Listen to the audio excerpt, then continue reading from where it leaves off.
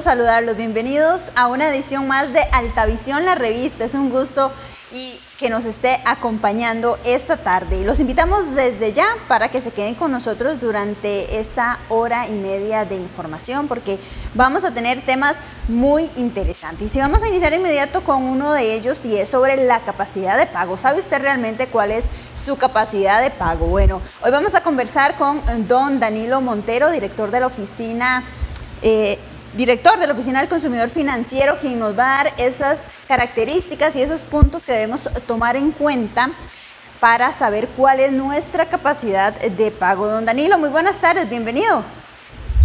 Muy buenas tardes, eh, Beatriz, un gusto saludarla y a todos los que nos siguen. Don Danilo, bueno, iniciemos por lo más básico. ¿Cómo podemos definir la capacidad de pago? Eh, la capacidad de pago no es solo un número, Beatriz, sino que es, tiene que ver con eh, incluso las circunstancias de edad, eh, las circunstancias laborales, etcétera, etcétera. Entonces, la capacidad de pago se podría decir que es la capacidad que tengo de, en las condiciones actuales, de asumir obligaciones financieras. y eso quiere decir la capacidad que tengo hoy en día de asumir cuotas de préstamos, uno o varios préstamos. Y eso es importantísimo recordarlo, porque la capacidad de pago, si yo no tengo deudas, hoy en día tengo una capacidad de pago eh, mucho más amplia. Si tengo una deuda grande, mi capacidad de pago es más limitada. Si tengo varias deudas, pero chiquitillas, posiblemente mi capacidad de pago es mayor. De manera que es básicamente un poco la relación de cuánto pesan las cuotas dentro de, mis, dentro de mis ingresos, ya sea que yo sea asalariado, si soy empresario independiente, si soy consultor, básicamente uno lo que tendría que tomar es cuánto tengo de ingresos en promedio al mes o cuál es mi salario mensual y aproximadamente entre el 35 hasta el 40% uno podría decir que esa es mi capacidad de pago. De manera que si yo gano 500 mil pesos, 40% eh, son alrededor de 200 mil pesos, que lo que yo podría tener razonablemente como capacidad de pago para convertirlo en una o en varias cuotas de préstamo. Muy bien, ¿qué aspectos, ya se lo mencionaba, bueno, si tengo o no tengo una deuda, pero qué otros aspectos debo valorar para identificar realmente cuál es mi capacidad de pago? Eso es importantísimo no tiene ninguna ciencia, pero sí eh, hay detallitos eh, que hay que ponerle atención. No es lo mismo que uno tenga hoy en día una capacidad de pago limitada, digamos que hoy en día tengo eh, cuotas que pagar que cubren la mitad del ingreso, pero son operaciones de crédito muy corto plazo, operaciones que voy a cancelar, por ejemplo, en diciembre con el aguinaldo. Entonces, mi capacidad de pago está limitada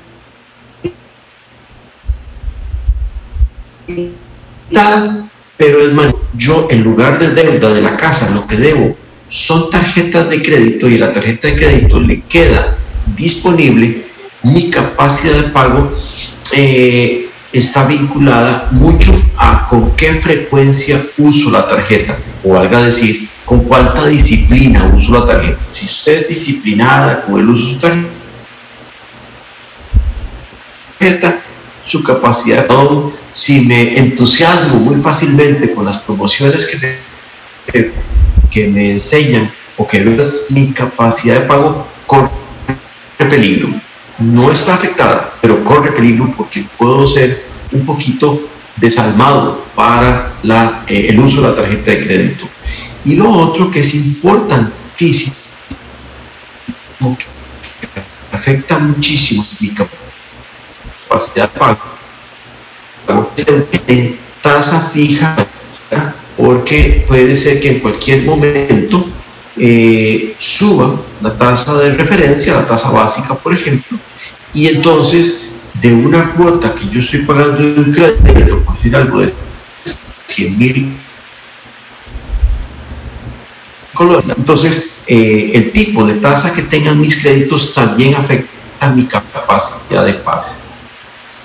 Perfecto. ¿En qué momentos es determinante conocer realmente cuál es mi capacidad de pago? Por ejemplo, ya usted lo mencionaba, cuando se presenta alguna deuda, pero ¿en qué otros momentos es necesario, don Danilo, conocer este tema? Eh, vamos a ver, se parece mucho a como nos medimos el azúcar en la sangre o nos medimos el colesterol, no nos medimos eso cada 15 minutos. Regularmente estamos haciéndonos un examen. y ciertamente, si vamos a tomar un crédito para comprar casa, eh, vale la pena revisar cómo está nuestra capacidad.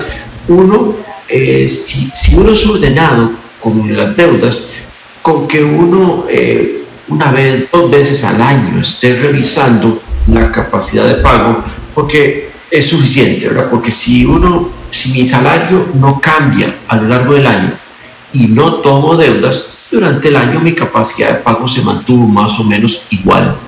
Eh, si yo uso mucho la tarjeta de crédito y acostumbro solo pagar el monto mínimo, no pagar la de contado, mi capacidad de pago se ve afectada. De manera que entonces eh, depende mucho la, frecuencia de revisión de mi capacidad de pago, depende mucho de nuestras prácticas como deudores.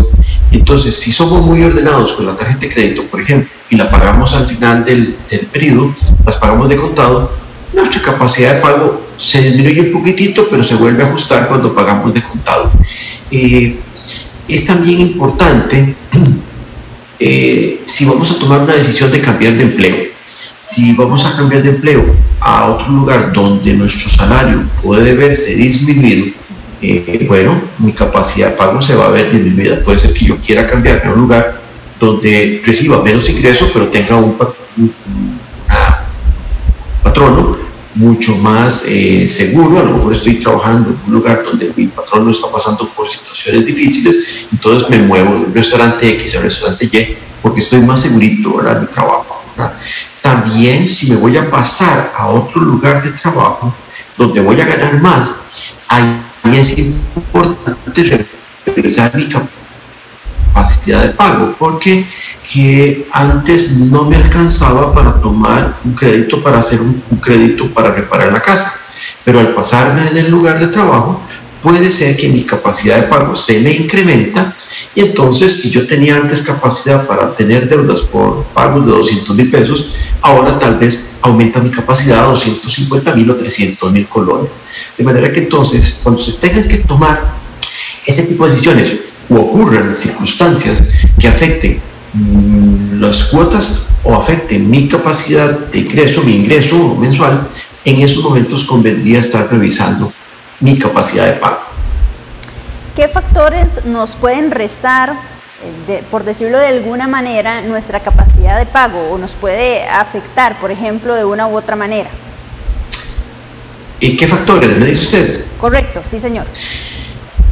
Eh, la inflación, por ejemplo, la inflación que ya hace años, ya hace bastante tiempo que afortunadamente eh, no tenemos inflación en Costa Rica, pero la inflación me puede comer capacidad de pago, la tasa de interés, si la tasa de interés comienza a subir más rápido que lo que me ajustan mi salario, eso me afecta. Si mi deuda es en dólares y mi ingreso, mi salario es en colores, eh, la devaluación me afecta mi capacidad de pago, porque entonces al subir el tipo de cambio, que es lo que ha estado ocurriendo en los últimos meses, mi salario sigue igual, pero la cuota en colores de los colones que ocupo para comprar los dólares, para pagarla, eh, se va haciendo más grande. Entonces la devaluación también me afecta. Y también hay circunstancias totalmente personales. Si de repente un familiar de la un miembro de la familia, eh, un familiar cercano, se enferma y nosotros nos echamos al hombro a esa persona, surgen unos gastos que no estaban antes. Y entonces mis ingresos siguen iguales, pero aparecen unos gastos que son nuevos y entonces mi capacidad de pago se disminuyó por un componente externo. Entonces hay factores externos de la economía y hay factores internos personales que podrían afectar.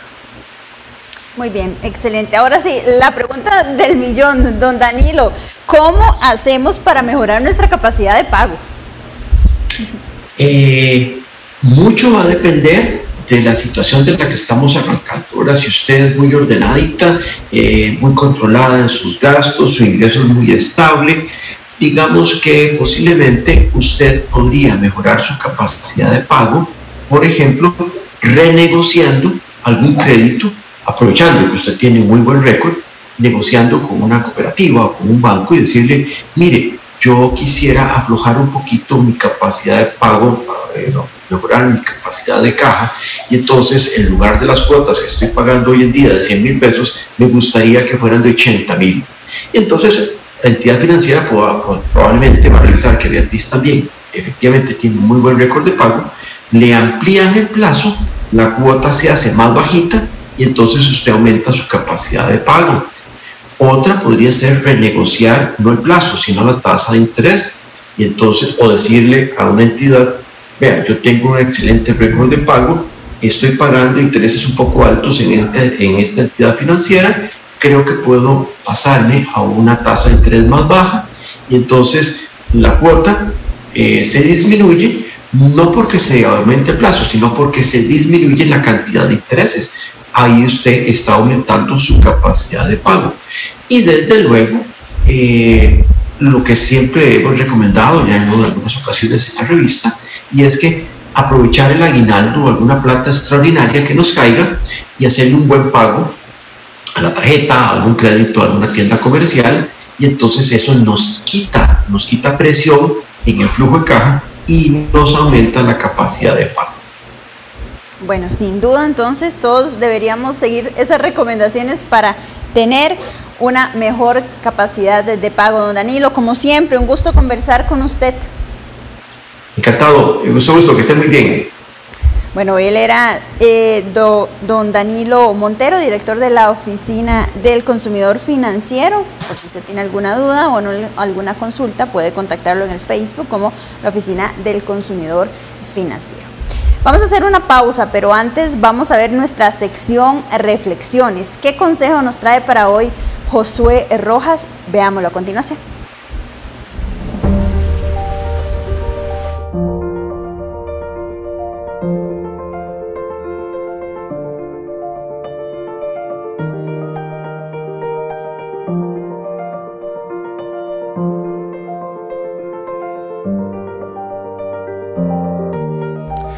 Hola, ¿qué tal? Les saluda Josué Rojas, entrenador de vida, y le doy la más cordial bienvenida a este espacio de reflexiones que llega a ustedes gracias a Coope Santos y Canal Altavisión. Todos en la vida tratamos de conseguir cosas para disfrutarla, ya sea paseos, viajes, carros, casas, y vivimos una vida consiguiendo cosas para poder disfrutar la vida. Es más, hay personas que pasan su vida viviendo del que sí. Es que si tuviera un carro, es que si tuviera esto, es que si me casara, es que si tuviera hijos. Y ese que sí se vuelve parte del vocabulario de cada día de muchas personas. Déjeme contar una historia que le podría ayudar a usted con esto. Un muchacho era muy pobre, muy pobre, y vivía en una costa donde llegaban muchos, muchos cruceros. El sueño de este muchacho, que vamos a ponerle de nombre Juan, soñaba con subirse a uno de los grandes cruceros. El sueño de él era correr por todo el crucero. Dice la historia que una vez llegó uno de los cruceros y se detuvo y él fue a preguntar cuánto costaba el tiquete para subirse al crucero. En ese momento le dijeron que el tiquete costaba 500 mil colones. Este muchacho se fue decepcionado, era muy pobre. Su anhelo era subirse a este gran barco. Daría lo que fuera, dijo él. Cuando llegó a su casa, vio la refri, la lavadora, la cocina y vio muchos objetos y dijo, aunque sea lo último que haga, voy a venderlo todo para subirme a este barco. Y así lo hizo. Lo vendió todo y fue y compró el tiquete. Pero se puso a pensar, ¿cómo voy a hacer para estar tanto tiempo dentro de este barco? ¿Cómo voy a hacer para pagar las cosas que están dentro de este barco, la comida? Él dijo, no, la verdad es que lo único que yo quiero es subirme al barco. Me voy a llevar dos bolsas de pan cuadrado y un kilo de queso y con eso voy a vivir la semana de viaje en el crucero. Así lo hizo. Agarró dos bolsas de basura y echó su ropa, esas eran sus maletas, era muy pobre, recordemos. Se subió al barco. El primer día corrió por toda la proa del barco. Trató hasta de hacer la posición del Titanic, disfrutando de este gran viaje en el barco. Sin embargo, cuando llegó la hora de comer, sintió hambre y se fue para su cuarto y se comió un pedazo de pan y un pedazo de queso. Poco a poco fue haciendo esto, el primer día, el segundo día, el tercer día, el cuarto día ya no soportaba el olor del pan con queso. Y saben, el sexto día caminaba por el barco. Sentía los olores de los restaurantes, de las comidas que estaban sirviendo y él no podía. Y un amigo, se topó un amigo en uno de los pasillos y le dijo, Juan, ¿no te había visto en el barco en todos estos días? ¿Dónde estabas metido? Él le dijo, a mí no me gusta andar donde hay mucha gente. Su amigo le preguntó, pero no te he visto en el restaurante a las horas de las comidas. Ah, no, le dijo Juan, a mí no me gusta ir a esas actividades, yo voy cuando ya no hay nadie. Su amigo le dijo, pero Juan, si vas a ir hoy, hoy es la cena de gala, hoy va a estar genial. Juan agachó su cabeza y le dijo, no puedo. Te voy a decir la verdad. Cuando me subí a este barco solo tenía plata para el tiquete de entrada y no tenía plata para todo lo que está en este barco. Su amigo se le quedó viendo con cara de incrédula y le dijo, Juan, ¿tú no sabías que con el tiquete de entrada tenías derecho a todo lo que está en este barco? Yo creo que la vida nos ha dotado de todas las cosas para que la disfrutemos. Tenemos vida, tenemos familia, tenemos trabajo y muchas cosas más. Aprenda a disfrutar cada cosa que tiene y deja de estar pensando en aquello que no tiene. Le invito a que alimente su mente, a que ejercite su voluntad y a que cuide su corazón.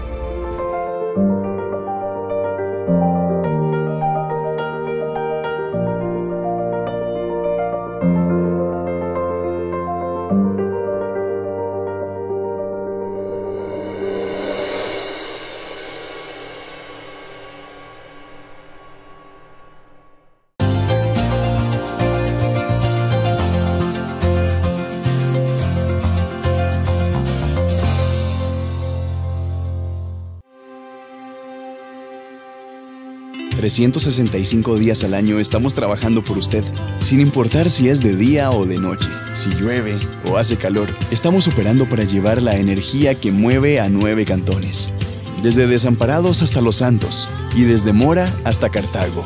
Seguimos en ruta día a día, aún en medio de la pandemia, para que la electricidad llegue a todos los hogares y las comunidades sin importar dónde se ubiquen. Lo que nos motiva es el compromiso y la pasión por ser excelentes en lo que hacemos. Lo nuestro es un trabajo especializado que requiere de esfuerzo, de los mejores recursos, conocimiento y entrega para velar porque usted y los suyos sigan contando con la energía vital para el desarrollo y el bienestar. Este es el valor de la energía. Coope Santos, juntos podemos.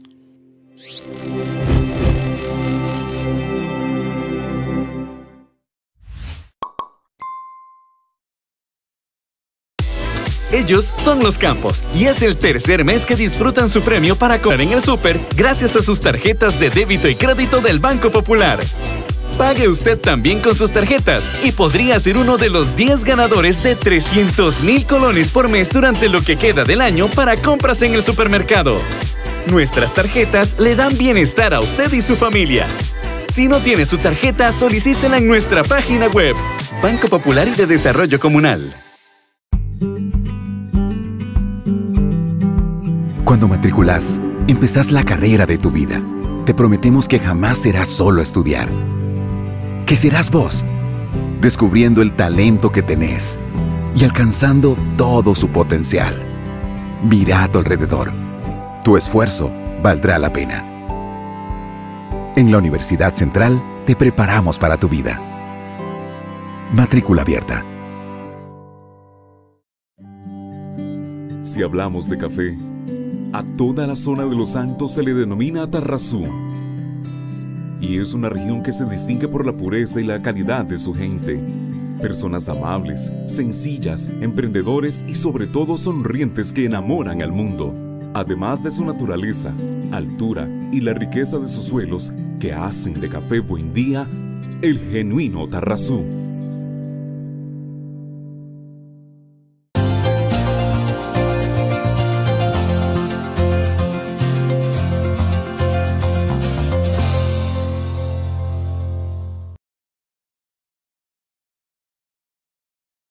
Vamos a mostrarle un lugar bien interesante donde usted puede turistear aquí en nuestra región. Se trata del Cedral Arriba de Acerrí. Nuestro compañero Josué Navarro se fue hasta allá y este reportaje nos lo presentó en el programa Hoy en Cope Santos, pero hoy queremos nuevamente mostrárselo para que usted se dé una escapadita muy cerca de nuestra región. Veamos.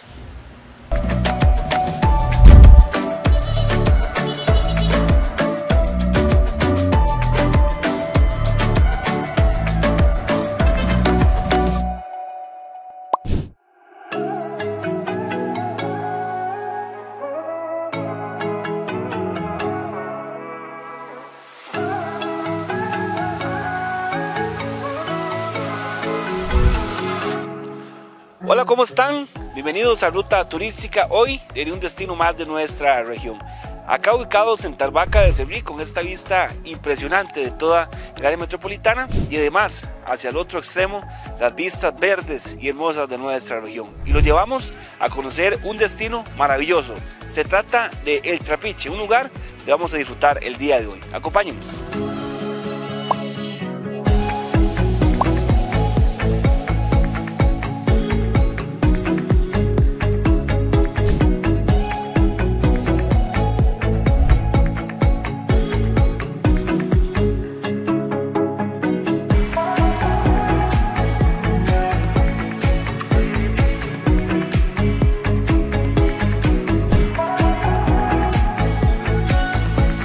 Después de disfrutar del recorrido con estos eh, hermosos paisajes que podemos encontrar acá, estamos en el Cedral de Acerrí. Llegamos a nuestro destino, el Trapiche, un lugar que sin duda alguna nos va a encantar y que vamos a conocerlo el día de hoy acá en nuestra sección en ruta turística.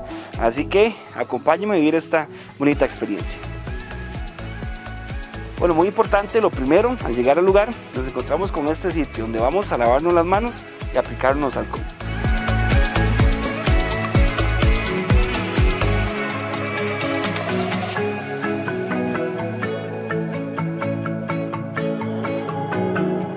Una vez que tenemos nuestras manos ya lavadas, bueno, recibe este magnífico lugar. ¿Cómo está? Muy bien, ¿y usted qué tal? ¿Cómo está? Muchas gracias. Bueno, cuéntenos a dónde estamos y además eh, de este concepto tan bonito que ustedes han desarrollado como familia. Muchas gracias. Bueno, nos encontramos en Cedral Arriba de Acerrí. Este emprendimiento familiar se llama El Trapiche. Nuestra especialidad es la comida típica en lo que es el restaurante y también eh, damos el servicio de hospedaje rural. Es un emprendimiento, como le mencioné, familiar que inició hace como unos 14 años, en el que poco a poco hemos ido desarrollando eh, cada una de las etapas que hemos ido viviendo, pero es, bueno, eh, muy acogedor, eh, como puede apreciar el lugar, y además da- eh, tratamos de prestar a nuestros clientes una comida bastante típica que es cocinada a la leña. Perfecto. Eh, Como vemos, el centro del lugar es el, el trapiche, ¿verdad? Que Sí. lastimosamente por el tema de, de la pandemia, pues no, no, no se puede realizar la- las conocidas tareas, ¿verdad? Donde la gente compartía.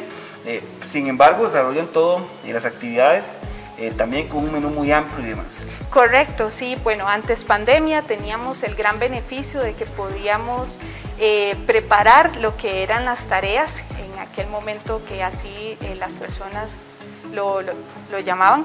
Eh, antes pandemia sí teníamos el gran beneficio de que podíamos preparar las tareas, que era lo que en aquel momento nuestros abuelos eh, tenían casi que en la mayoría de los lugares eh, de acá, eh, siempre en su parte trasera de la casa, etcétera, había un ranchito en el cual se ubicaba un trapiche, en aquel momento era de bueyes, pero bueno, por las condiciones que han ido modificándose, el de nosotros es de motor. Y bueno, antes pandemia sí preparábamos todo lo que era el- la molida del dulce, la preparación de las espumas, el sobado, la melcocha, cada una de las pruebas en la cual nuestros clientes podrían, eh, podían probar cada una de esas degustaciones que es bastante cómico o asombroso el hecho de que saber que aunque es todo a base de jugo de caña, cada uno de los procesos, la melcocha, el sobado, las pruebas tienen un sabor diferente, aunque es del mismo producto, esto es por el, pues, lo que es en la cocción. Perfecto. Entonces, pues por ahorita, como pueden apreciar, en el centro del trapiche, eh, perdón, del salón se encuentra el trapiche. Excelente, bueno, ojalá que ya pronto, ¿verdad? Volvamos a esa normalidad que todos deseamos para también activar esta actividad que es tan bonita eh, que aunque parezca también increíble, es muy de nuestros antepasados, de nuestros abuelos, de nuestra Costa Rica, pero que muchos no, no conocen. Muchos no conocen, o sea, siempre tenemos eh, suficientes clientes que llegan y entonces vemos cómo el abuelo le está explicando a sus nietos eh, cómo era que se elaboraba todo lo que llamaban la tarea para que tengan un conocimiento pues antes de, o sea, ahorita pues hay muchas personas que ya pues vamos dejando esas este, tradiciones que por desgracia se están perdiendo. Eh, como lo mencionamos, sí también tenemos lo que es un amplio menú en comida típica, principalmente eso es lo que nosotros servimos, eh, lo que son la olla de carne, los sopa de mondongo, los chicharrones, también lo que son este, alimentos a base de maíz, como lo que es la chorreada, la mazamorra, tratamos de siempre estarla este, incorporando en nuestro menú. Entonces sí, también la gente puede disfrutar de todas esas comidas que son muy de Costa Rica. Eh, algo muy importante que ustedes han cuidado en este tiempo es el tema de los protocolos, ¿verdad? Y eh, tener el mínimo contacto, ¿verdad? Entre burbujas. Eh, me llamó mucho la atención la aplicación que ustedes utilizan, donde prácticamente pues, las burbujas llegan y ellos realizan su servicio, ¿verdad? Desde la mesa y son atendidos de una manera muy ágil, aprovechando ¿verdad? este recurso tecnológico que también ustedes han desarrollado. Sí, eso es una forma en la que nos hemos ido reinventando. Eh, incorporamos a partir de un este, emprendimiento también familiar que nos vendió este sistema. Eh, incorporamos, incorporamos lo que es que la gente llega, se sienta y no solamente puede apreciar el menú eh, que les ofrecemos, sino que también desde la aplicación pueden hacer el pedido. Entonces es muy ágil para ambas partes, tanto para el cliente como para nosotros como restaurante, porque eh, pues todo va entrando digitalmente en el cual la persona, el momento en que se decide a pedir, inmediatamente a lo que es cocina nos va llegando y bebidas nos va llegando lo que la persona está pidiendo. El cliente puede ver eh, la cuenta que lleva en ese momento, puede apreciar con qué se acompañan los productos. Entonces es muy ágil y en este, este sentido hacemos que no haya tanto contacto eh, con personas que no son de la burbuja como tal. Así es muy importante para que usted lo tome en cuenta el próximo fin de semana que se va a venir a dar la escapadita por acá que puedan eh, venirse con total tranquilidad de que aquí se cumple realmente con esos protocolos, que como familias también andamos buscando la seguridad para todos nuestros seres queridos. Otros lugares importantes es el, el rinconcito de las antigüedades, ¿verdad? Sí. Que eh, podemos también mostrar a nuestros hijos artículos que ya eh, pues es muy difícil de encontrar y lo que nos da la bienvenida es esta magnífica rocola. Sí, como puede apreciar, tenemos una sección en la que damos algunas antigüedades. Eh, la primera es, como usted lo acaba de mencionar, la rocola, que ya funciona del perfecto estado, en la cual la persona puede elegir la canción que quiere escuchar y pues aquí hasta se ponen a veces a bailar con la rocola. Y sí vemos otro tipo de emprendimiento, eh, perdón, antigüedades, como son algunas hachas, algunos cuchillos, las máquinas de coser antiguas, las bombas que antes se utilizaban eh, para, el riego de algún tipo de fertilizantes, entre otros. Eh, tenemos suficientes máquinas de escribir también y algunas otras que pues ya los muchachos desconocen. Ok, ven, ven qué importante, eh, por ejemplo, estas máquinas de, de moler eh, maíz. Ajá. Saber cuántas tortillitas salieron de ahí. Sí, eh, muchas tortillitas definitivamente en la máquina de moler que pues ahorita pues ya se van incorporando otros métodos de realizar este tipo de asuntos de tortillas, pero sin embargo nosotros siempre tenemos lo que es la preparación de las tortillas que servimos, todas son hechas a mano. Las hacemos en aquella cocinita que tal vez ahorita la podemos presentar y este, se palmean eh, a mano.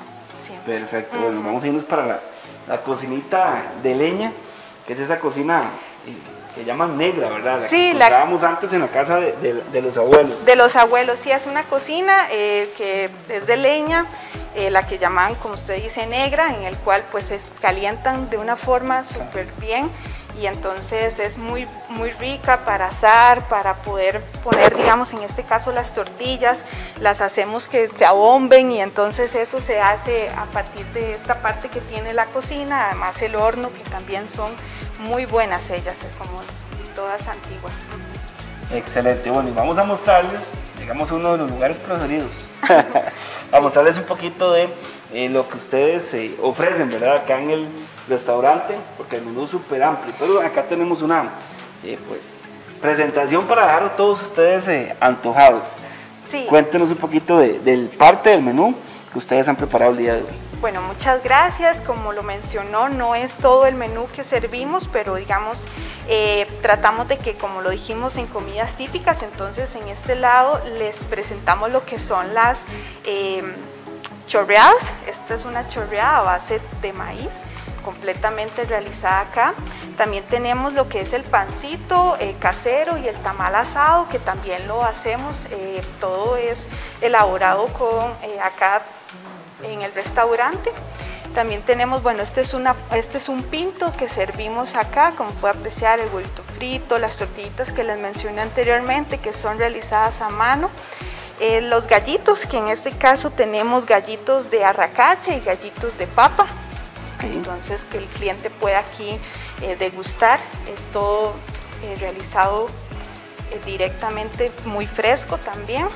Eh, esto es lo que podemos apreciar, es una mazamorra que está recién hecha la mazamorra también y arrocito con leche, que bueno, aquí a nuestros clientes les, les gusta mucho el arroz con leche porque es a base de leche, desde que se inicia hasta el final. Ah, Entonces es bastante rico. Y por el, eh, finalmente les presentamos eh, una de las tablitas que, que, servimos, que son la de chicharrones. Ah, Entonces también que son eh, cocinadas en leña. Excelente. Bueno, como ven, hay variedad y lo mejor es que tienen ese sabor casero, que es muy importante, eh, que lo podemos realmente encontrar acá y que muchas veces lo andamos buscando, ¿verdad? Y cuesta realmente encontrar este lugar, este tipo de lugares con, ese sabor que le da un toque distinto a las comidas. Sí, también una parte de eso es que tratamos de que algunos de nuestros platillos se preparen con los mismos insumos que es sembramos acá en nuestras tierras, entonces acá pueden ver como el repollo que, eh, que sembramos, eh, zapallitos, eh, perdón, los aguacates o los chayotes. Entonces son algunos de los que también se siembran acá y con los que preparamos sopas o etcétera, o el aguacate que se le pone al chifrijo que también servimos, es también de acá producido. Bueno, y, el ingrediente principal es el amor que le pone a su familia, ¿verdad? Sí, eso también. Acá a nuestros clientes les encanta estar preguntando eh, por por don Eduardo, digamos, dónde está, porque les encanta escucharlo reírse y etcétera. Y bueno, también les gusta mucho, somos, trabajamos en su mayoría eh, familia, entonces ya nos vamos acercando mucho al cliente y entonces ya el cliente se identifica mucho con nosotros, nos llama por el nombre o nos pregunta, etcétera, cosas. Entonces es un ambiente muy acogedor. Perfecto, bueno. Si les parece, yo voy a quedarme por acá y voy a aprovechar para escuchar una canción acá en la Rocola. Por supuesto, adelante. Perfecto.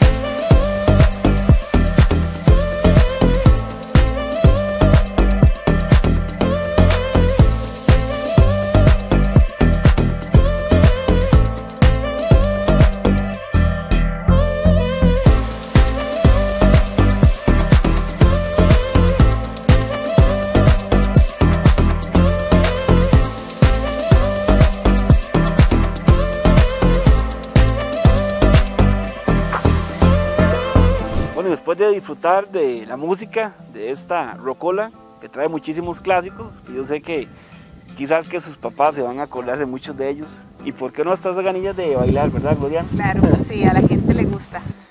Estamos acá en esta lomita, que muchas familias también sé que lo van a disfrutar, donde eh, también eh, el Capricho ofrece, además de su restaurante, la posibilidad de que usted pueda venir y hospedarse. Vienen a este servicio que Gloria nos va a comentar, eh, porque realmente es que es súper acogedor.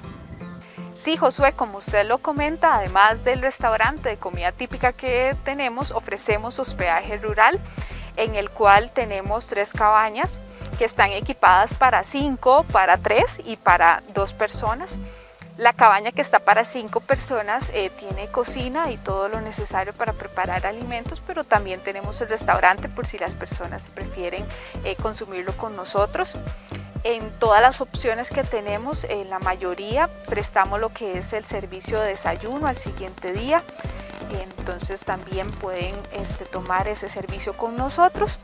Y bueno, como ustedes pueden ver, las cabañas están rodeadas de bastante naturaleza en la cual las personas pueden escuchar todo lo que son pues, las aves que nos visitan, inclusive ver animales, eh, las ardillas que se van por las ramas eh, que ven en los balcones que están en los balcones de las cabañas y bueno, hasta inclusive hasta un oso perezoso nos visitó hace como 15 días, entonces estuvo bastante tiempo acá y se podía apreciar también desde las cabañas.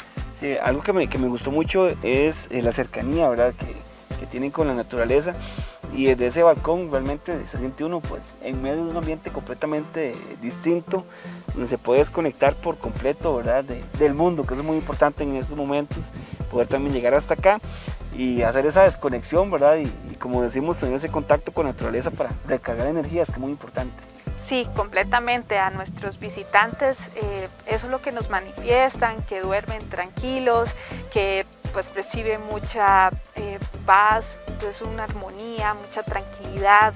Acá no hay ningún tipo de contaminación, entonces hasta eso, eh, sentirse más libres y bueno, súper bien porque acá ruido pues no hay ya, o sea, no es como ese, todo ese ambiente que hay en la ciudad eh, tan sofocado, acá es otro, otra cosa completamente. Importante, en el servicio de hospedaje, ¿qué horarios mantienen? ¿Cómo trabajan el tema eh, también de reservación y demás.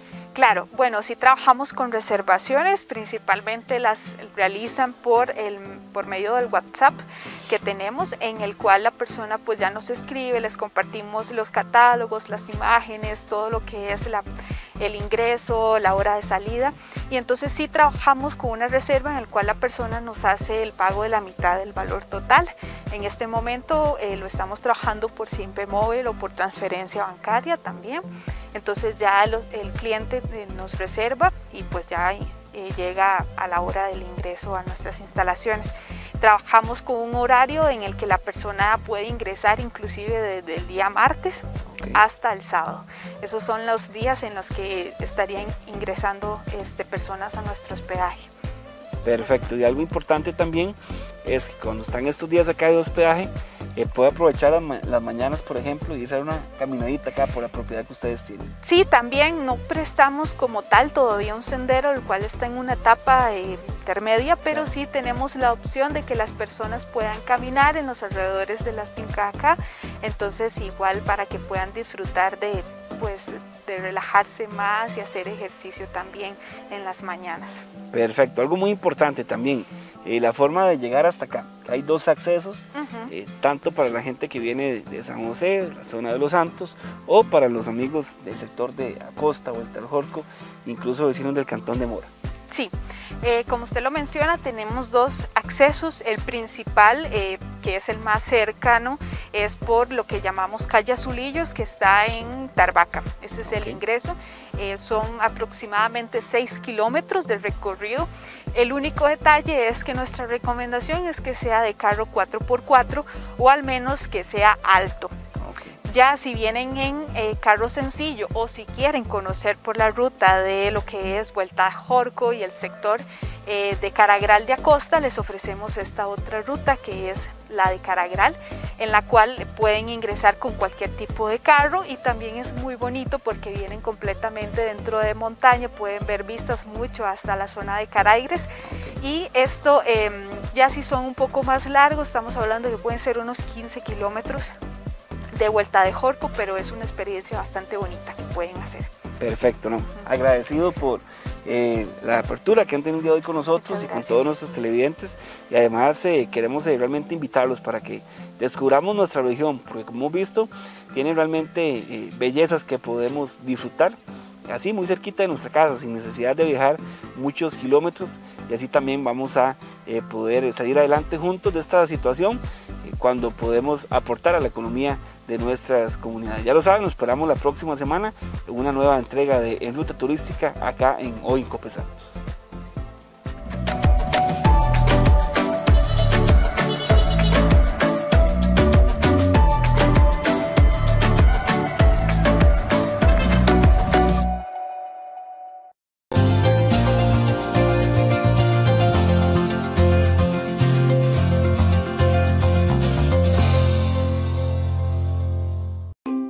Para mí, lo más importante es que haya buena señal de internet. Yo me doy una escapadota con mis amigas y nos pasamos la tarde disfrutando la compañía y por supuesto la deliciosa repostería. Yo me concentro y cuando me doy cuenta se me pasan las horas trabajando. Para mi familia lo más rico es empezar una paseadota tomando un café de los productores de la zona. Lo que más me gusta es poder entregar una parte de nuestra historia en una taza de café. Yaramila Hidran, siete nutrientes en el mismo gránulo, fertilizante completo y equilibrado, que aporta en su cafetal dos formas de nitrógeno y tres formas de fósforo, más un alto contenido de potasio en balance con magnesio, azufre, boro y zinc, que mejora el crecimiento de los granos al mismo tiempo que forman nuevos tejidos que van a albergar los próximos nudos productivos. Plantas más fuertes y vigorosas, mejor desarrollo del follaje y los frutos con Yaramila Hidran. Si hablamos de café, a toda la zona de los Santos se le denomina Tarrazú. Y es una región que se distingue por la pureza y la calidad de su gente. Personas amables, sencillas, emprendedores y sobre todo sonrientes que enamoran al mundo. Además de su naturaleza, altura y la riqueza de sus suelos que hacen de Café Buen Día el genuino Tarrazú. Protejamos nuestra tierra, dejando huellas positivas a través de nuestras acciones, sembrando vida en nuestros hogares y en nuestras comunidades. Cosechemos un mejor futuro, eligiendo las bolsas reutilizables antes que las bolsas plásticas, dando valor a los residuos. No botemos basura en los suelos ni en los ríos y cuidando uno de los recursos más importantes, el agua. Seamos parte del cambio. Las decisiones de hoy son nuestro futuro. Seamos responsables y solidarios. Y amemos nuestro ambiente. Todos queremos un futuro mejor. Y un mundo más limpio y seguro.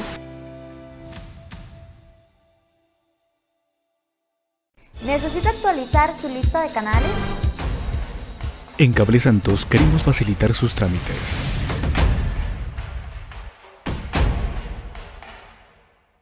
Solicite soporte al WhatsApp 8392-2525. Envíenos su nombre completo y número del suscriptor y nuestros agentes del centro de contacto lo atenderán. Somos Cable Santos. Siga disfrutando de su programación favorita y asegúrese de contar con todos los canales que ofrecemos. En Cable Santos queremos facilitar sus trámites. Contáctenos al WhatsApp 8392 2525. Juntos podemos. Acompáñenos este y todos los jueves a las 3 y 20 de la tarde en Salud en Positivo, una sección más de su programa Alta Visión, la revista. Abordaremos la salud de manera integral, con profesionales en diferentes áreas que aportarán a mejorar su bienestar y el de su familia.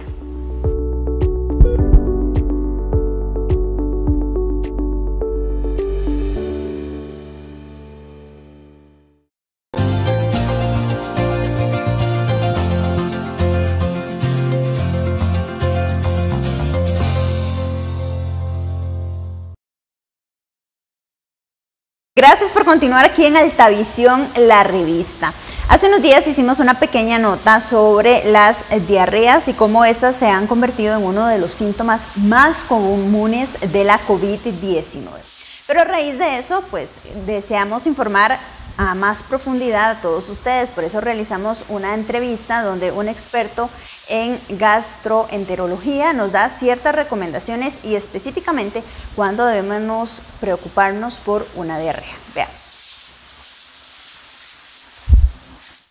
Muy bien, hoy nos acompaña el doctor Daniel Zúñiga, él es gastroenterólogo y vamos a conversar un poco sobre la relación que tiene el COVID-19 con las diarreas, cómo identificar cuando realmente son por este virus. Así que le damos las buenas tardes, doctor, bienvenido.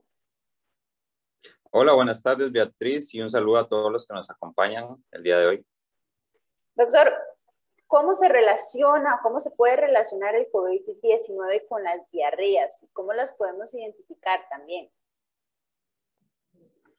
Claro, bueno, eh, inicialmente podemos decir que desde la primera, el primer semestre del 2019, el COVID-19 eh, ha puesto el mundo al revés. Em, ha hecho que todo el sistema de salud a nivel mundial cambie, ¿verdad?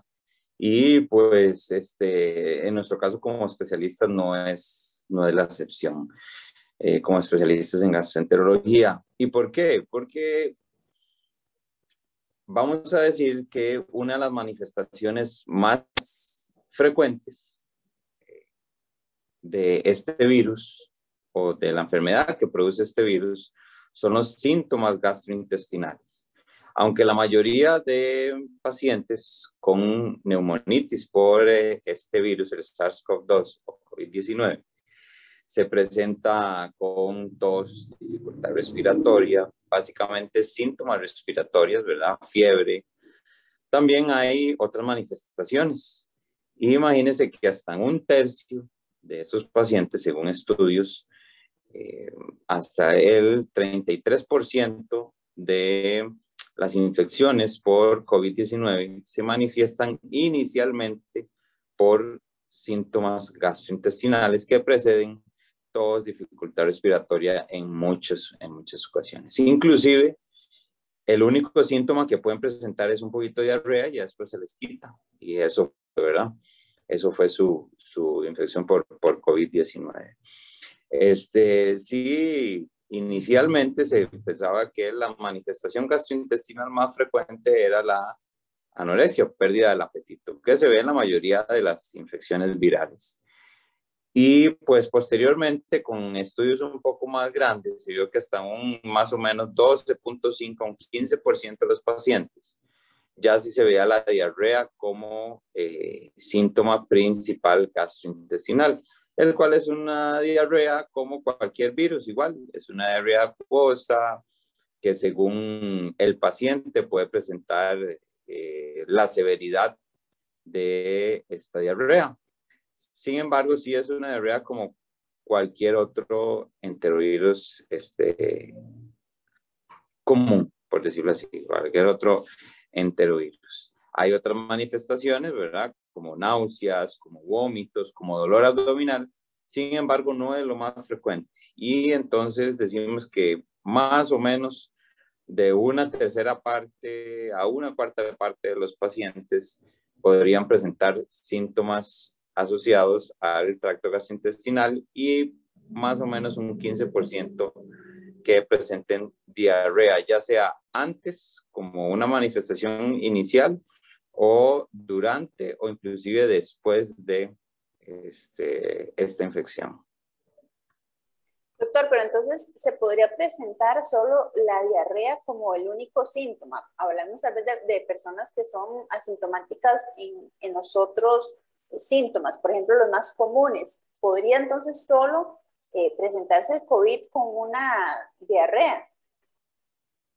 Sí, eso es importante. Como les estaba mencionando, la gran mayoría preceden a los síntomas respiratorios. O sea, en algún momento probablemente presente síntomas respiratorios o algún otro síntoma. O sea, el, la infección típica, tos, dificultad respiratoria, fiebre, inclusive pérdida del gusto o del olfato. Esto es muy importante también desde el punto de vista de por qué se origina la diarrea, ya que hay este, unas eh, celulitas que se pueden acoplar a este virus, que está asociado a unos receptores que se llaman, bueno, angiotensina 2, que ya es un poquito más teórico. Y inclusive se han visto dos cosas muy importantes o, o, dos puntos que va a tocar muy importantes. Uno, que generalmente los pacientes con diarrea y infección por este SARS-CoV-2 tienen eh, una evolución más eh, beneficiosa para el paciente, por decirlo así, o menos severa. Este, se ha visto que los pacientes que presentan diarrea o síntomas gastrointestinales les va mejor, este, porque, por decirlo así, se concentra el virus en el tracto gastrointestinal y no tanto a nivel de pulmones. Y se sabe que la gran mayoría de los pacientes que pues tienen eh, severidad o son críticos, pues está asociado al síndrome de distrés respiratorio del adulto, que pues este, sí puede complicar bastante la evolución del paciente. Y cuando tienen diarrea, generalmente más bien predomina el, el, virus a nivel del tracto gastrointestinal y no tanto las implicaciones a nivel este, del tracto respiratorio. La otra cosa muy importante es cuando pensar que un paciente puede tener virus asociado a COVID-19 y no tal vez otro virus, ¿verdad? Y eso es muy importante para eh, estratificar en el sistema de salud. Es decir, porque no a todos los pacientes con diarrea, por ejemplo, podemos estarlos hisopando también. El costo, costo-beneficio, pues también hay que sopesarlo y más que todo en los sistemas de salud. Y tres situaciones especiales que tenemos que tomar en cuenta para tamizar a los pacientes que tengan diarrea, tamizar por este, SARS-CoV-2 o, puedes hacer las pruebas por eh, el virus COVID-19, que es en pacientes primero que tengan una diarrea que les dure más de lo común o que sea un poquito diferente, más que todo 48, 72 horas y siga con la diarrea, se recomienda tamizarlos por, puede que no lo tenga, ¿verdad? Pero se recomienda hacer el tamizaje por COVID-19. La otra es en pacientes hospitalizados, que no se sepa que tienen este, infección por eh, eh, este virus y que estén en un hospital, en un centro hospitalario donde hay más riesgo de, de contraer este, este virus en esos pacientes que inician con diarrea estando hospitalizados, pues se recomienda hacer el tamizaje eh, y hacer los estudios por eh, la presencia o ausencia de COVID-19. Y la otra es en pacientes, por ejemplo, en, en nuestra especialidad, que tengan una reactivación o una recidiva de su enfermedad de base, como por ejemplo en pacientes que toman esteroides, que toman prednisona o algún otro esteroide, o pacientes que tienen diarrea como síntoma principal de su enfermedad, como la enfermedad inflamatoria, los pacientes con CUSI, los pacientes con enfermedad de Crohn, este, de repente con enfermedad celíaca, que tengan eh, colitis microscópica, principalmente enfermedad inflamatoria intestinal, que tenga una reactivación de su enfermedad, pues ahí es importante tamizarlos y estudiarlos por eh, la infección por COVID-19. Y ahora, adelantamos un poquito, ¿cómo se tratan estos pacientes que tengan diarrea y tal vez inclusive les merma? Este, y eso es muy importante. Muchas veces, al igual que otros virus, estas diarreas se autolimitan, son solitas, se quitan. ¿no? generalmente no hay que dar antibióticos, no hay que dar mayor cosa. Em, lo que sí se puede considerar es y muy importante la hidratación, ¿verdad? Hidratarse bastante bien, igual que cualquier otro virus de diarrea y vómito, este, y dar tratamiento de síntomas, ¿verdad? Como la loperamida. La loperamida, aunque muchas veces no se recomienda, este, y, como decimos popularmente, es mejor que, que, la hidratación y que salga el virus, digamos, este, eh, a nivel del tracto gastrointestinal, pues Sí hay estudios que avalan el uso en diarrea por COVID-19, utilizar, por ejemplo, loperamida de 4 miligramos hasta 16 miligramos al día. Y si tienen dolor abdominal o algunos otros síntomas asociados, pues dar igual el tratamiento para los eh, síntomas principalmente.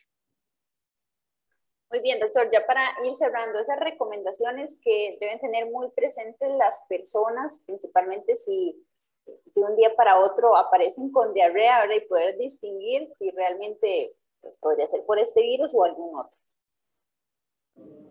Pues sí, hay que siempre en medicina es muy importante la historia clínica y el examen físico este, para valorar si realmente hay algún nexo, por ejemplo, con un paciente con COVID, este, el tipo de diarrea, si es una diarrea con sangre, con moco, ya nos, nos este, orienta a otra cosa. Si hay tos, si hay dificultad respiratoria, si hay pérdida del olfato y del gusto asociada a la diarrea, pues ya pensamos más en, estos, eh, pues en la causa como COVID-19, perdón, eh, en los tres panoramas que, les comenté, ¿verdad? Importante tamizarlo y siempre, pues, cuidarse es lo más importante. Este, de momento, pues, seguimos con, con las medidas, ya en otros países se han tomado otras decisiones, sin embargo, en nuestro país todavía se toman las medidas sanitarias correspondientes y, pues, este, eh, cuidarse y evitar eh, los contagios para evitar así que este, se expanda la infección y ahora más con las posibles variantes que este, tengamos de este virus. Complicaciones y otras causas son muy raras, por ejemplo, el COVID-19 aumenta la probabilidad de coágulos y no está exento el tracto gastrointestinal de hacer coágulos en ciertos sitios, en ciertas eh, arterias y, y vasos, eh, venas que, que, pues se pueden tapar y pueden producir inclusive una diarrea un poquito diferente. Sin embargo, son los, las causas eh, más raras y como les dije, generalmente es una diarrea que se autolimita. Este, igualmente, ante todas esas situaciones, importante considerar tanto el personal de salud como los pacientes, este, la probabilidad de que una diarreita, eh, tal vez con algún nexo, que no haya comido alguna, que no haya un antecedente de intoxicación, este, que no hayan pacientes que sepa que tengan algún enterovirus diferente, pues considerar siempre la probabilidad de que puede deberse a la infección por COVID-19. Perfecto, doctor. Muchísimas gracias, como siempre, por brindarnos todas estas recomendaciones. Un gusto. No, mucho gusto y estamos para servirles. Muy bien, él es el doctor Daniel Zúñiga, él es gastroenterólogo y por ahí estarían apareciendo los números para cualquier consulta. Continuamos con más aquí en Noticias.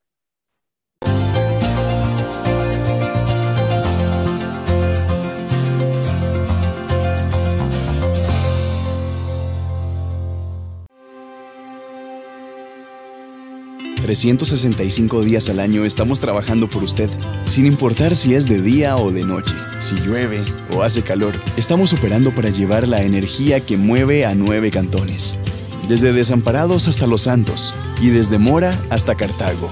Seguimos en ruta día a día, aún en medio de la pandemia, para que la electricidad llegue a todos los hogares y las comunidades sin importar dónde se ubiquen. Lo que nos motiva es el compromiso y la pasión por ser excelentes en lo que hacemos lo nuestro es un trabajo especializado que requiere de esfuerzo, de los mejores recursos, conocimiento y entrega para velar porque usted y los suyos sigan contando con la energía vital para el desarrollo y el bienestar. Este es el valor de la energía. Coope Santos, juntos podemos.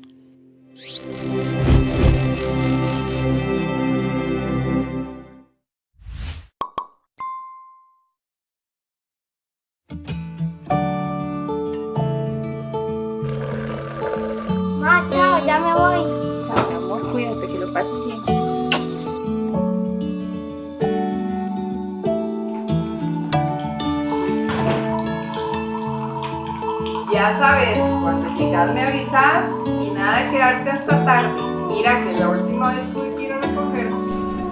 Que Dios te bendiga y te proteja.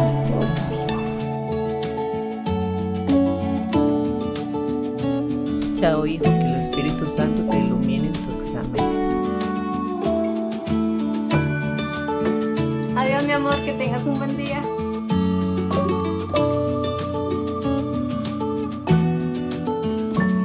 Amores de lejitos, pero saben que las amo mucho. Sin importar su estilo de bendición, siempre es para desearnos un buen día.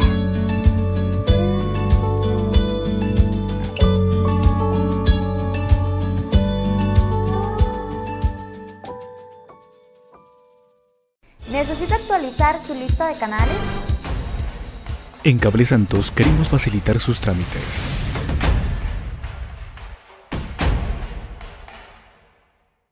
Solicite soporte al WhatsApp 8392-2525. Envíenos su nombre completo y número del suscriptor y nuestros agentes del centro de contacto lo atenderán. Somos Cable Santos. Siga disfrutando de su programación favorita y asegúrese de contar con todos los canales que ofrecemos. En Cable Santos queremos facilitar sus trámites. Contáctenos al WhatsApp 8392 2525. Juntos podemos.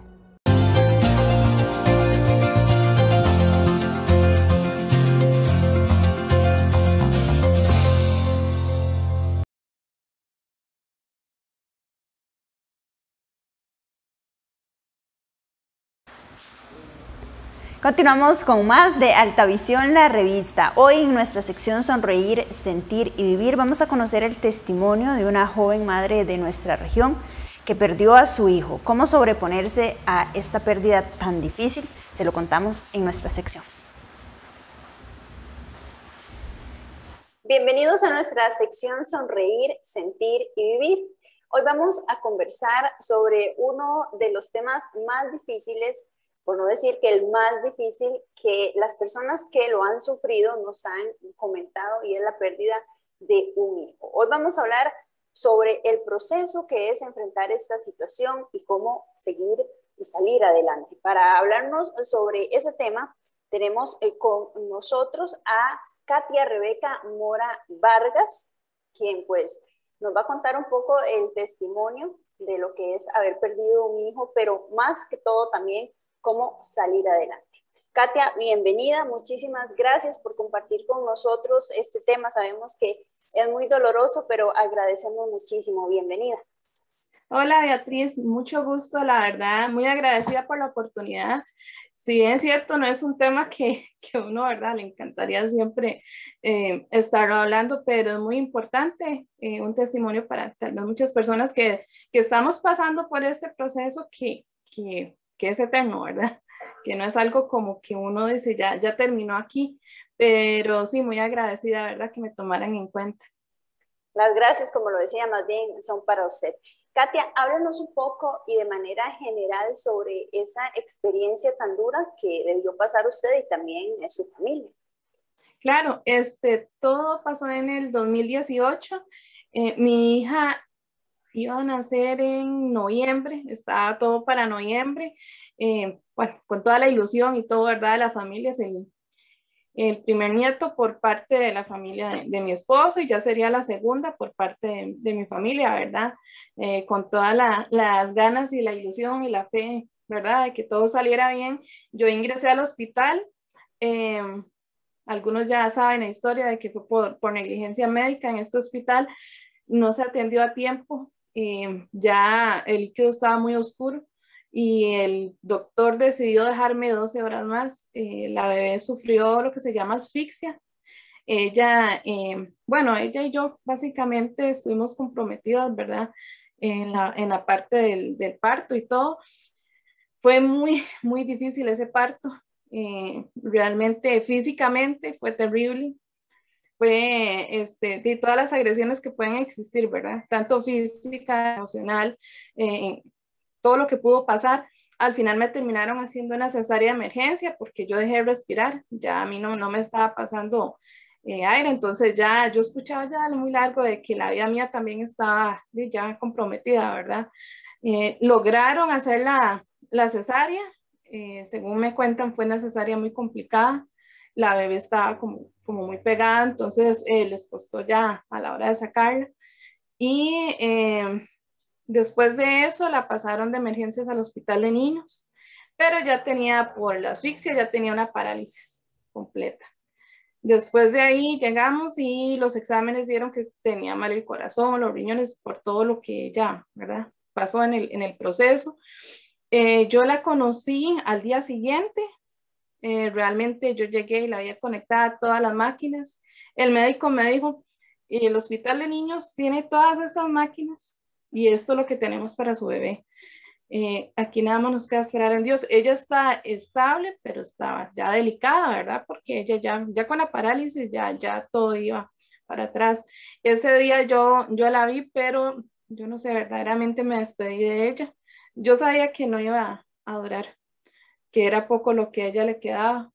Eh, siempre he pensado que ella me esperó para podernos despedir porque yo como estaba inconsciente en la, en cesárea no la conocí hasta el día que pude trasladarme al hospital de niños, que fue el día siguiente. Eh, me, le hice una oración, se la entregué a Dios, eh, fue terrible porque lloré demasiado en el baño, en todo lado. Yo estaba, a mí me subieron, al, ella estábamos como en un segundo piso y a mí me tenían en silla de ruedas por, por lo que venía pasando el día anterior, ¿verdad?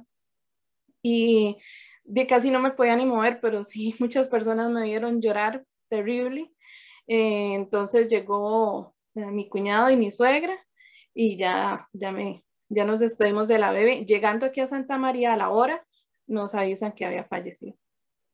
Entonces ahí ya el mundo, ¿verdad? Se le, se le desborona uno. Yo llamé a, a mi familia y Marcos se dedicó a llamar a, a la de él, ¿verdad? Para darle la, la noticia que a todos nos, nos golpeó bastante, nos cambió la vida totalmente. Yo digo que que eso es un antes y un después, ¿verdad?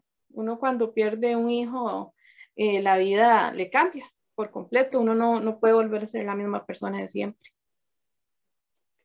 Katia, em, lamento muchísimo todo esto que, usted ha tenido que vivir y también su familia, realmente uno no se explica por qué pasan las cosas, pero hay un dicho que siempre se dice que Dios no manda pruebas a quien no las pueda superar o quien no las pueda enfrentar, más bien. ¿Cómo ha logrado usted seguir eh, esta vida, su familia, su esposo? ¿Cómo hacen? Porque realmente muchas personas han pasado por esta situación y, lamentablemente no lo logran. Ellos también pues toman decisiones bien difíciles debido a una pérdida de un hijo. Claro, los primeros días fueron terribles. O sea, yo, yo me cuestioné muchas veces que por qué sí, sí, la vida mía también estaba, estaba en peligro porque yo no me fui con ella, yo le, yo le reclamaba mucho a Dios, es la etapa de que uno como que se enoja, se enoja con Dios y, y es muy normal, yo cuando veo una persona que empieza un duelo y, y empieza en esa etapa de que se pelea un poco con, con Dios, ¿verdad?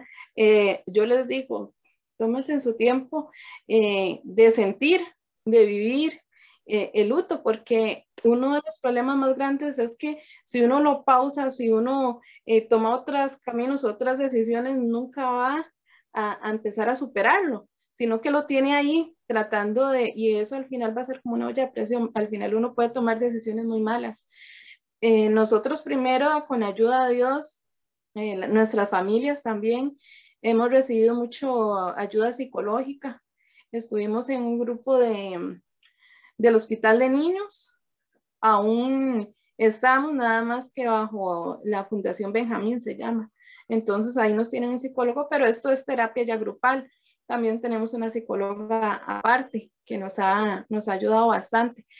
Eh, cuando nosotros, digamos, como matrimonio, llegamos la primera vez, el psicólogo nos dijo que la mayoría de familias se divorcian o sea, es un porcentaje muy alto, como 85% de los matrimonios se divorcian después de la pérdida de un niño, porque, de un hijo, perdón, porque eh, tal vez uno de los dos se hunde más en esta depresión y el otro quiere tal vez salir adelante, entonces es algo que no va, no va a estar parejo. Ah, sí, nosotros nos asustamos mucho, ¿verdad? ¿Sabes?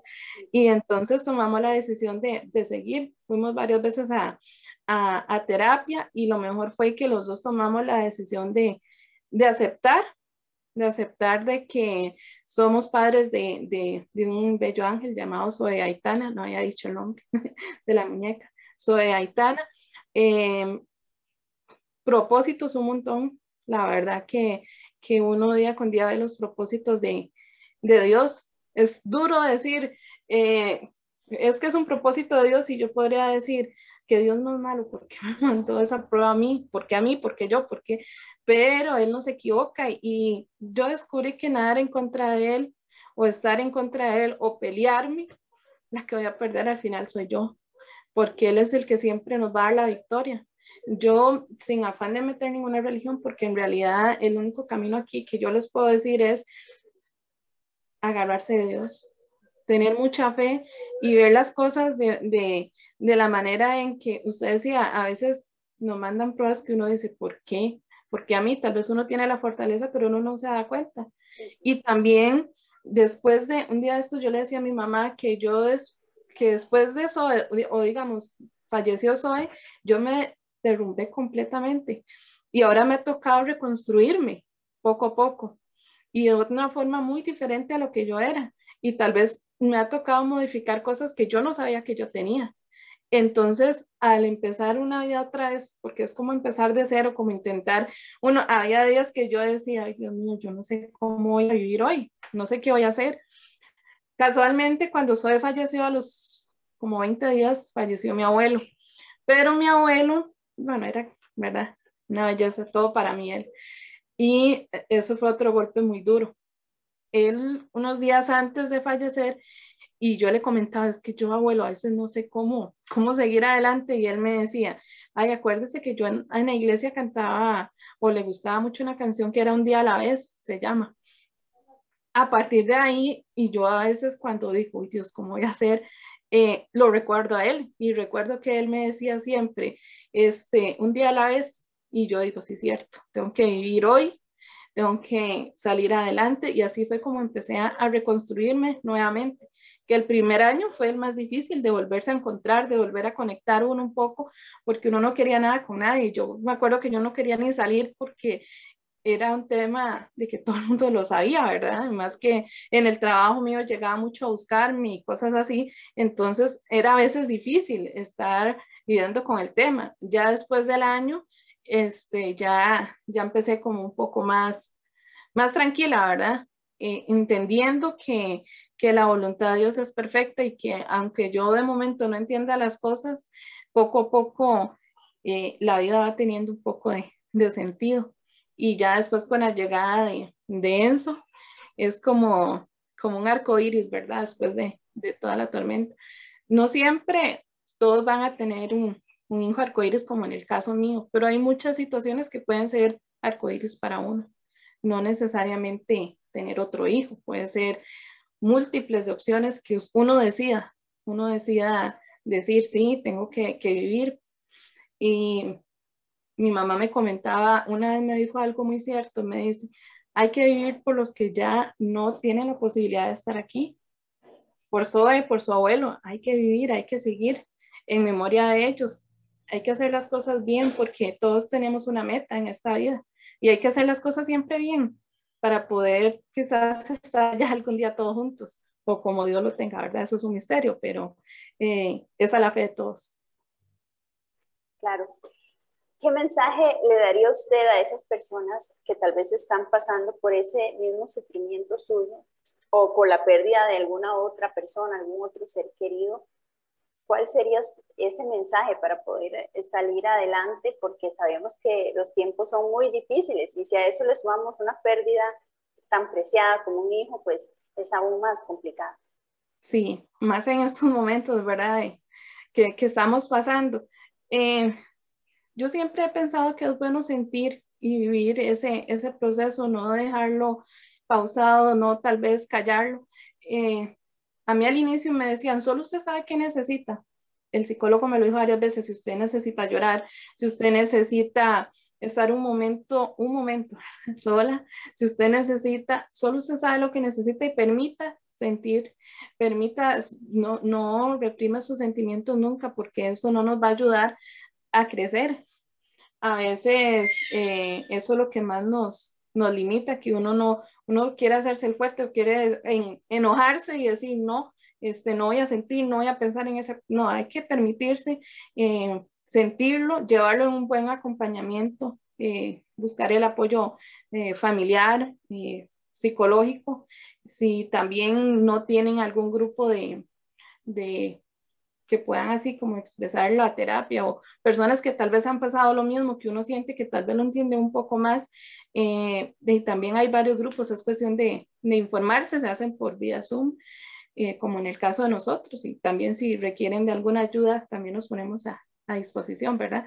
Pero eh, siempre buscar la, la, la ayuda psicológica, qué sé yo, la, la religiosa, si van al, a misa, qué sé yo, con el padre, en el caso de uno, tal vez con un pastor o cosas así, la parte, el apoyo religioso, la fe en Dios, es lo que a uno le ayuda y uno pedirle siempre que, que vaya sanando el, el, corazón. Es algo que uno nunca va a superar en el sentido de que, que no es algo así como que yo diga, lo voy a olvidar, no, eso nunca se va a olvidar, pero es bueno eh, saber llevarlo. Hay días buenos y hay días que no son tan buenos y eso nos pasa a todos. O sea, ya Nadie, nadie va a decir, no, ya de aquí en adelante voy a estar súper bien y todo es risa y todo, no, porque siempre, si no es eso, se suman muchas circunstancias que uno vive. Entonces, por eso es bueno eh, siempre estar desahogando, siempre recibir la, la, ayuda, que hay gente que dice, no, es que yo no, no tengo los medios, entonces yo les decía, hay grupos gratis de terapia, hay fundaciones, hay muchas cosas que uno no está solo en este momento, uno no, eh, no, no es que no pueda tener la, la ayuda, porque sí hay varios grupos con, con psicólogos muy buenos que, que, a uno le ayudan por lo menos a, a ir sobrellevando un poco la, la, situación, quizás entender ciertas cosas también para no hundirse en una depresión muy fuerte que al final lleva a tomar decisiones muy erróneas y muy lamentables, que no solo lo afectan a uno, esto es un efecto dominó, o sea, lo que a mí me afecta le va a afectar a mi esposo, a mi hijo, a mi familia, a la familia de él. Entonces, eh, no es solo uno, ¿verdad? esta situación, yo siempre he dicho, es una situación que abarca a muchas personas, no solo a uno directamente. Entonces, ese es mi mensaje. Primero, agarrarse de Dios, pedirle siempre a Él. Yo sé que es muy difícil porque uno dice, ¿por qué a mí? ¿Por qué? Pero intentar tener ese momento, esa reconciliación con, con mucha sabiduría y también, como decía mi abuelo, vivir un día a la vez no afanarse por el mañana porque no sabemos si va a estar. Entonces, vivir el hoy y saberlo aprovechar porque estas oportunidades, si comparamos con otros lugares que están pasando momentos muy terribles, estamos relativamente todavía bien. es un día muy bueno, también saber que, que puede venir días mejores mientras uno tenga la fe y la mirada en Dios. Perfecto, Katy, nos quedamos con ese lindo mensaje. Muchísimas gracias nuevamente por compartir con nosotros este testimonio y también esos consejos que yo sé que en casa muchísimas personas las van a poner en práctica y los van a valorar, principalmente si hay alguna eh, persona o familia que está pasando por una situación tan difícil como esta. Katia, muchísimas gracias. Un gusto conversar con usted. Con mucho gusto y más bien gracias a ustedes por este espacio. La verdad que Gracias, eh, Katia. Bueno, hasta aquí, hasta aquí llegó nuestra sección Sonreír, Sentir y Vivir.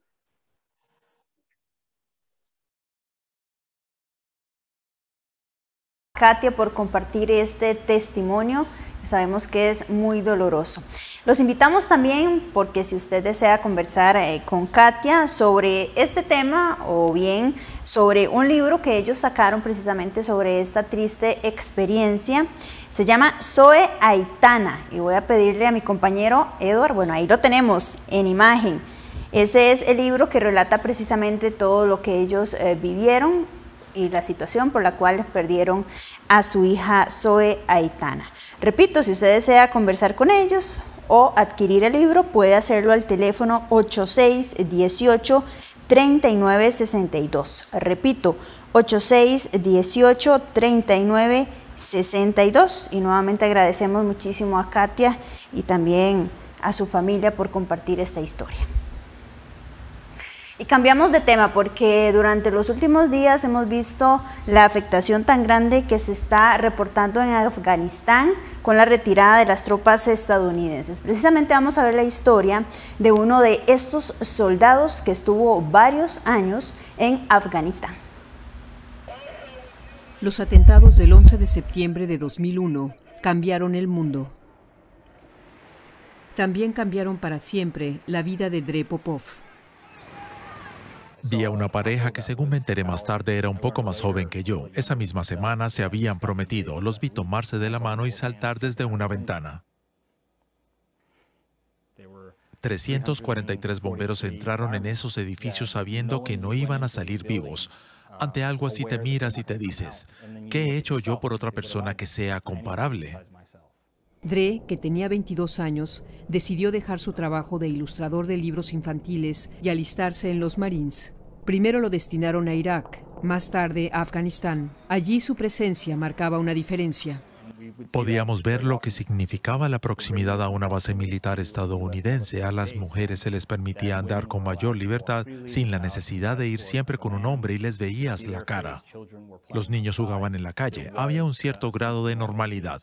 Cuanto más te alejabas de las bases militares, más mujeres cubiertas y con velo veías y los niños dejaban de jugar en la calle. Pero esa sensación de normalidad tuvo un enorme costo humano. Se estima que más de 170.000 personas murieron en la guerra de Afganistán. Dre Popov mató en Afganistán, algo que hoy le avergüenza profundamente. Nadie tiene derecho a quitarle la vida a otra persona, no hay excusas. Eso es algo que cuando matas a alguien comprendes enseguida. En el momento en que le quitas la vida a una persona, entiendes lo repugnante que es la mera idea de hacerlo. Ahora que los talibanes han recuperado Afganistán, se pregunta, ¿mereció la pena? No, lo único que permanece son las muertes que causamos. Todos esos momentos en los que podías ver que había un progreso, ¿sirven de algo si fue solo temporal? Por supuesto que no. Pregúntale a una niña de seis años que aprendió a leer y le sacaron los ojos por eso y nosotros nos marchamos. Eso es lo que va a pasar por todo el país. Puede que Estados Unidos se haya ido de Afganistán, pero para veteranos como Dre Popov, la guerra no ha terminado. Continúa en sus cabezas. Cada día, 22 veteranos estadounidenses se suicidan porque no pueden vivir con la culpa, los recuerdos y la sensación de haber sido abandonados por una sociedad que ha pasado página. Ayudarlos y ayudarse a sí mismo. Popov cofundó la organización sin ánimo de lucro Veteranos Reconstruyendo la Vida, que ofrece asistencia e incluso capacitación laboral a exsoldados y lleva ayuda médica a los niños de los países donde lucharon los veteranos, una manera de curar las heridas, tanto las propias como las de las víctimas. Yo siempre animo a los chicos a recordar, porque eso significa seguir teniendo conciencia y seguir queriendo ser una buena persona. Y cuando los ves que empiezan a conectar con los niños, es impresionante. Dejan de tomar, de autodestruirse. No tienen ira ni pensamientos suicidas. Solo quieren ayudar a más niños. Se convierte en una nueva adicción. Y también en un recordatorio constante de que en ambos lados del campo de batalla, las consecuencias de la guerra se dejarán sentir durante mucho tiempo. Este tipo de historias. Los invitamos para que nos acompañen dentro de muy pocos minutos en Notivisión, donde también vamos a tener muchísima información sobre ese tema y por supuesto del acontecer de nuestra región. Hacemos una pausa y regresamos. Quédese con nosotros.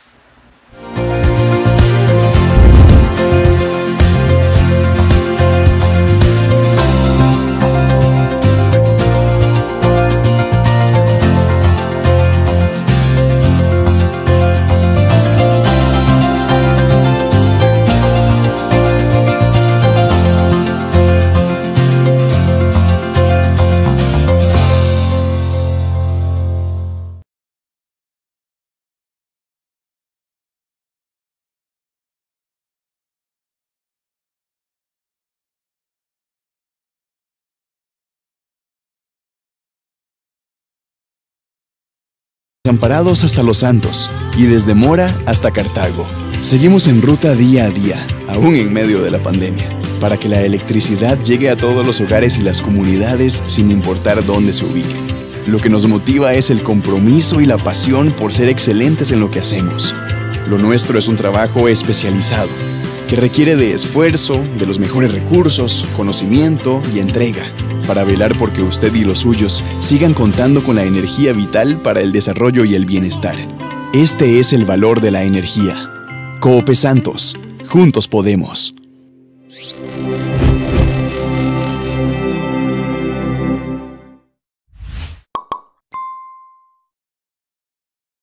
¿Necesita actualizar su lista de canales? En Cable Santos queremos facilitar sus trámites.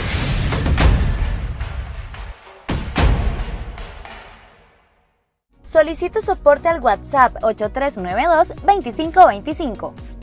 Envíenos su nombre completo y número del suscriptor y nuestros agentes del centro de contacto lo atenderán. Somos Cable Santos. Siga disfrutando de su programación favorita y asegúrese de contar con todos los canales que ofrecemos. En Cable Santos queremos facilitar sus trámites. Contáctenos al WhatsApp 8392 2525. Juntos podemos.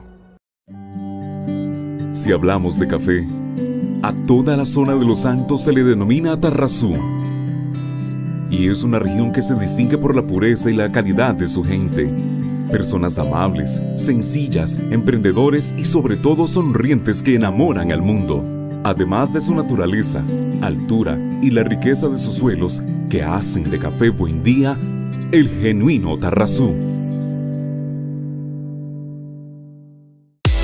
Ellos son los Campos y es el tercer mes que disfrutan su premio para comprar en el súper gracias a sus tarjetas de débito y crédito del Banco Popular. Pague usted también con sus tarjetas y podría ser uno de los 10 ganadores de 300 mil colones por mes durante lo que queda del año para compras en el supermercado. Nuestras tarjetas le dan bienestar a usted y su familia. Si no tiene su tarjeta, solicítela en nuestra página web, Banco Popular y de Desarrollo Comunal. Cuando matriculás, empezás la carrera de tu vida. Te prometemos que jamás serás solo estudiar. Que serás vos, descubriendo el talento que tenés y alcanzando todo su potencial. Mira a tu alrededor. Tu esfuerzo valdrá la pena. En la Universidad Central te preparamos para tu vida. Matrícula abierta. Si hablamos de café, a toda la zona de los Santos se le denomina Tarrazú. Y es una región que se distingue por la pureza y la calidad de su gente. Personas amables, sencillas, emprendedores y sobre todo sonrientes que enamoran al mundo. Además de su naturaleza, altura y la riqueza de sus suelos que hacen de Café Buen Día el genuino Tarrazú. Ellos son los Campos y es el tercer mes que disfrutan su premio para comprar en el súper gracias a sus tarjetas de débito y crédito del Banco Popular. Pague usted también con sus tarjetas y podría ser uno de los 10 ganadores de 300 mil colones por mes durante lo que queda del año para compras en el supermercado. Nuestras tarjetas le dan bienestar a usted y su familia. Si no tiene su tarjeta, solicítela en nuestra página web, Banco Popular y de Desarrollo Comunal. Para mí, lo más importante es que haya buena señal de internet. Yo me doy una escapadota con mis amigas y nos pasamos la tarde disfrutando la compañía y por supuesto la deliciosa repostería. Yo me concentro y cuando me doy cuenta, se me pasan las horas trabajando. Para mi familia lo más rico es empezar una paseadota tomando un café de los productores de la zona. Lo que más me gusta es poder entregar una parte de nuestra historia en una taza de café. Yaramila Hidran, siete nutrientes en el mismo gránulo, fertilizante completo y equilibrado, que aporta en su cafetal dos formas de nitrógeno y tres formas de fósforo, más un alto contenido de potasio en balance con magnesio, azufre, boro y zinc, que mejora el crecimiento de los granos al mismo tiempo que forman nuevos tejidos que van a albergar los próximos nudos productivos. Plantas más fuertes y vigorosas, mejor desarrollo del follaje y los frutos con Yaramila Hidran.